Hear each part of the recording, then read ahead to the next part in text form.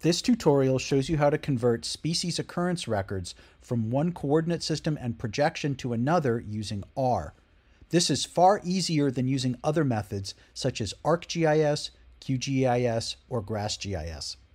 This tutorial assumes you are using Ubuntu Linux version 22.04 as your operating system, although it will work on Windows or Mac operating systems as well, as long as you have R and RStudio installed on your computer.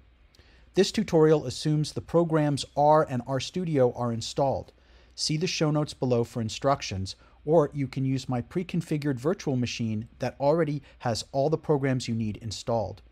Details to follow and an exciting announcement. This tutorial assumes you have the R package SF installed. See the show notes below for instructions, or simply bypass all of the fuss and use my pre-configured virtual machine. I have a virtual machine pre-configured and pre-installed with various population genetics and landscape ecology software. You can run this virtual machine within your Windows or Mac computer.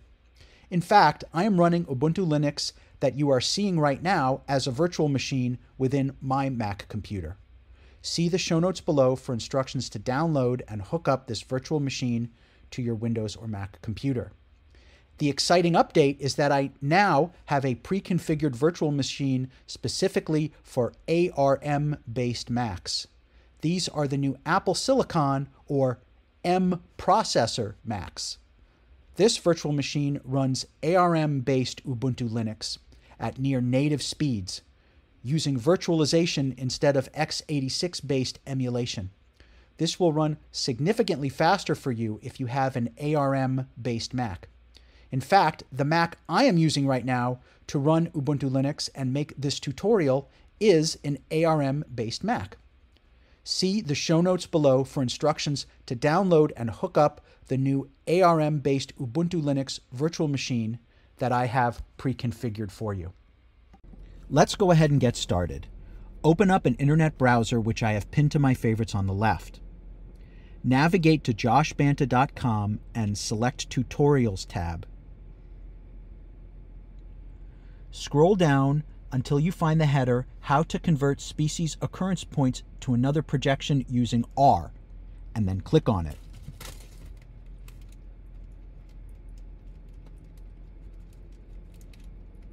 Click on Files Needed for Tutorial and then click the button to download the files. When the download is complete, you may close the internet browser. Next, open up File Explorer, which I have pinned to my favorites on the left. Navigate to the Downloads folder and double-click the file to open Archive Manager. Right-click on the indicated folder on a Windows-style mouse or push down on your Mac trackpad with two fingers and select Extract. Navigate to your desktop and select it and click on Extract. Then close Archive Manager as well as File Explorer. Next, open up RStudio, which I have pinned to my favorites on the left. Select File, Open File from the drop-down menu and navigate to the Convert Points folder on your desktop. Select the file, Convert Points to another projection, and click on Open. Next, select the working directory. Select Session from the drop-down menu and then select Working Directory and then to Source File Location. Next, call the SF library. Highlight line 5 and select Run.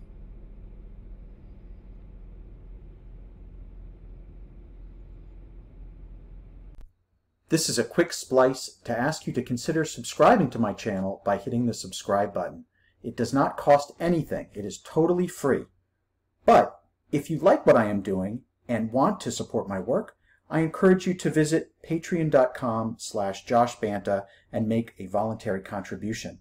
Paying Patreon members at the appropriate tier get exclusive perks, such as a tutorial on performing species distribution modeling using Maxent in an R script. This represents a tremendous advance over previous methods and automates everything, including choosing the best model settings, including a bias file, and even projecting the results into the future, all in one script. Another perk for the paid Patreon members at the appropriate tier is ad free versions of all my videos. The link is in the show notes below. Your support helps me to deliver new content and keep this channel current and vibrant.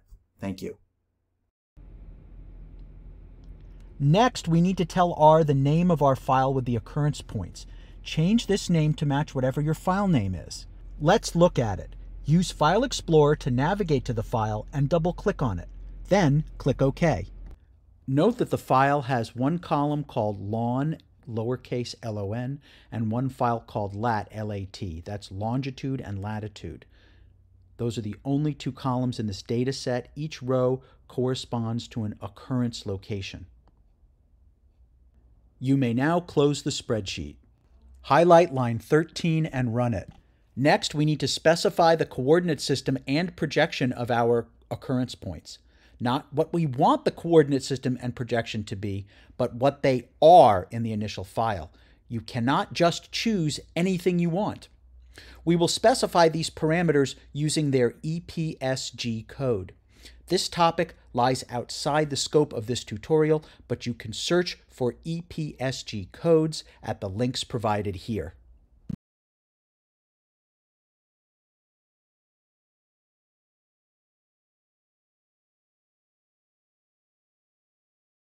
Change the number on line 22 to the EPSG code that corresponds to the coordinate system and projection of your initial occurrences points file. Then highlight line 22 and click on Run. Next, choose the coordinate system and projection that you want your occurrence points to be in. Choose the EPSG code and enter it on line 27. Then highlight line 27 and click Run. Next, highlight line 30 and click on Run. Then highlight line 33 and click on Run. Then highlight line 36 and click on Run. This shows us that we successfully imported our occurrence locations into R and told R what the coordinate system and projection are.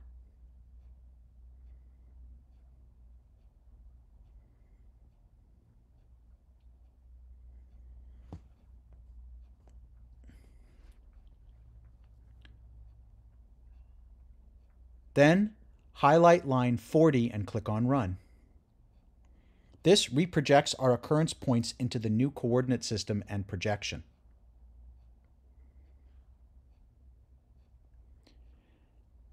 Next, highlight line 43 and click on Run. This shows us that we successfully reprojected our occurrence locations to the new coordinate system and projection.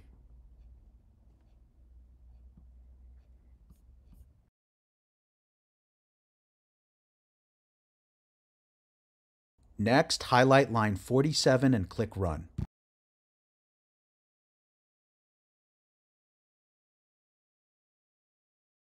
Now highlight line 50 and click Run. Then highlight line 54 and click Run. Now let's look at the output. Use File Explorer to find the file occout.csv and double click on it. Then click OK you will see that the new file looks the same as the old one, except that the numbers are different. But it still has the same number of columns, and the first column is still called lon, and the second column is still called lat, and there are still the same number of rows. But now the points are in a different coordinate system and projection. You have successfully completed the tutorial.